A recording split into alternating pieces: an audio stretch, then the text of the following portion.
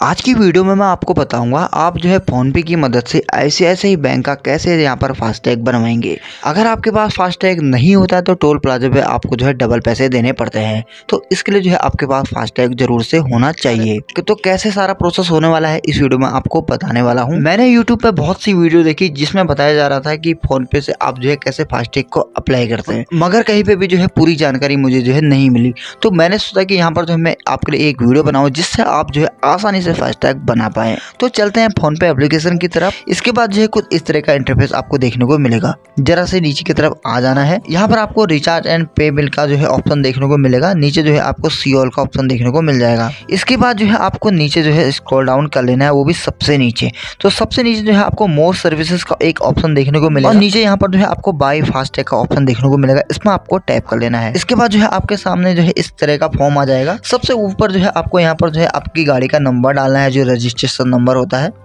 इसके बाद जो है यहाँ से आपको जो है आईडी चूज़ करनी है आप जो है कौन सी आईडी यहाँ पर लगाने वाले हैं उसके बाद जो है आपको यहाँ पर जो है पैन कार्ड डालना होगा जो कि मैंडेटरी है उसके बाद जो है आपको यहाँ पर जो है मोबाइल नंबर डाल देना है ये सारी जानकारी फिल करके जो है आगे आपको मैं ले चलता हूँ मैंने यहाँ पर सारी की सारी डिटेल जो है फिल कर दी है और हाँ अगर आप जो है कभी भी ना फास्टैग के लिए अप्लाई करते हैं तो आप जो है व्हीकल के जो है रजिस्ट्रेशन नंबर से ही अप्लाई करना जिससे जो है आपको काफ़ी बेनिफिट होते हैं तो यहाँ पर मैं कंटिन्यू में क्लिक कर लेता हूँ इसके बाद जो है यहाँ पर ओटीपी का ऑप्शन देखने को मिल रहा है तो यहाँ पर मैं ओटीपी डाल के जो है वेरीफाई कर लेता हूँ। यहाँ पर आपकी गाड़ी की डिटेल आ जाएगी। यहाँ पर ऊपर जो है कंपनी का नाम आएगा नीचे जो है आपका मॉडल नंबर अगर जो है आपका मॉडल नंबर ऊपर नीचे होता तो आप यहाँ से जाके जो है सिलेक्ट कर सकते हैं। इसके बाद जो है अगर आपकी गाड़ी प्राइवेट है तो आपको प्राइवेट सेलेक्ट करना है। अगर कॉमर्शियल है तो आपको कॉमर्शियल सेलेक्ट कर लेना है। यहाँ पर पाँच सौ की जो है फ़ीस लगने वाली है तो मैं इसको जो है कंटिन्यू कर लेता हूँ। उसके बाद जो है आपको कुछ डिटेल यहाँ पर फिल करनी होगी जैसा कि आपका नाम जेंडर मदर का नेम डेट ऑफ़ बर्थ और जो है ईमेल आईडी यहाँ पर मैं सारी डिटेल फिल करके जो है आगे आपको ले चलता हूँ यहाँ पर मैंने सारी की सारी डिटेल फिल कर दी तो मैं यहाँ पर जो है कंटिन्यू में क्लिक कर लेता हूँ उसके बाद यहाँ पर जो है आपको डिलीवरी एड्रेस डालना होगा जहाँ पर जो है आप फास्टैग को मंगाना चाहते हैं आपके व्हीकल के साथ जो एड्रेस है ना वो जो है बाई डिफ़ॉल्ट यहाँ पर ले लेता है मगर आप चाहे तो यहाँ से जो है इसे चेंज कर सकते हैं तो यहाँ पर मैं कुछ चेंजेस करके जो है आगे आपको जो है कंटिन्यू में क्लिक करके आपको जो है आगे ले चलूँगा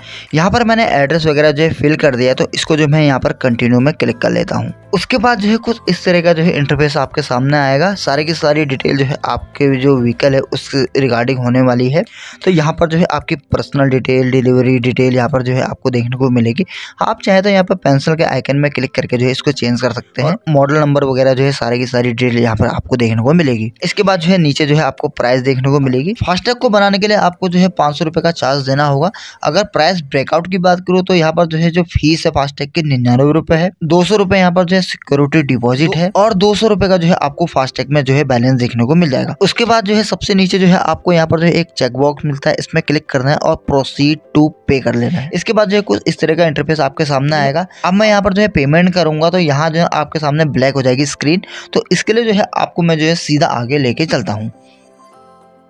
तो यहाँ तो यहाँ पर जो है मैंने सक्सेसफुली यहाँ पर जो है पेमेंट कर दी है और जो है यहाँ पर कुछ इस तरह का इंटरफेस आ चुका है। मेरे यहाँ पर जो है कस्टमर आईडी आ चुकी है जो कि नीचे देखने को मिल रही है जिसको मैंने जो है ब्लर किया हुआ है। पाँच से सात वर्किंग डे में जो है फास्टैग जो है मेरे एड्रेस पर आ जाएगा जो कि मैंने यहाँ पर जो है डिलीवरी एड्रेस डाला हुआ है। आई होप दोस्तों अब आप समझ गए होंगे किस तरीके से जो है आप फ़ोन पे के माध्यम से फास्टैग के लिए अप्लाई करेंगे। अगर वीडियो पसंद आया वीडियो को लाइक करना अपने दोस्तों के साथ शेयर करना। तो दोस्तों आपसे मुलाकात होगी अगली वीडियो में तब तक के लिए बैठ कर रमना ख्याल